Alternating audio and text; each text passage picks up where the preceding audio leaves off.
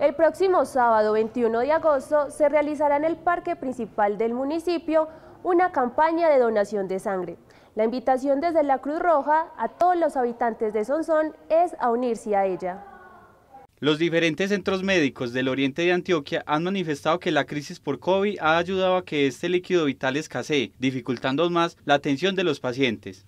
Sí, el próximo sábado 21 de agosto, en un horario de entre las 9 de la mañana y 3 de la tarde, vamos a estar con campaña de donación de sangre. Es real. Bueno, nosotros como Cruz Roja eh, tener presente pues que nosotros abastecemos de estos hemocomponentes a más de 26 clínicas y hospitales en todo el departamento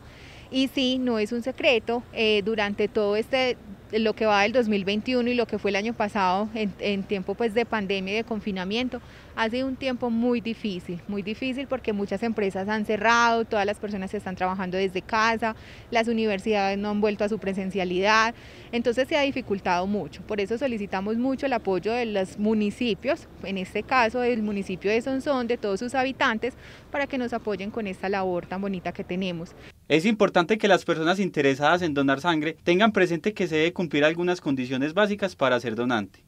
Que gocen de muy buena salud, que las mujeres no estén en, proceso de gestación o lactancia, eh, que de pronto no estemos en el momento, pues con la actualidad, que no tengamos COVID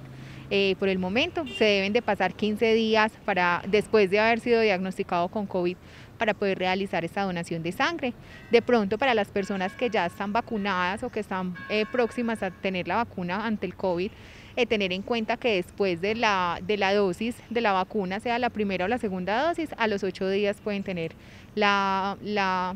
donación de sangre.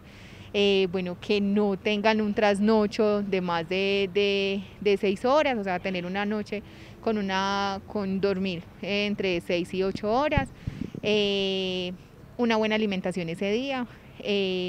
no tener un ayuno mayor a cuatro horas, en lo posible que las personas no hagan ejercicio en la mañana ni luego después de, realizar su donación de sangre, eh, no haber consumido eh, bebidas alcohólicas el día anterior, en lo posible tratar de que ese mismo día no tengan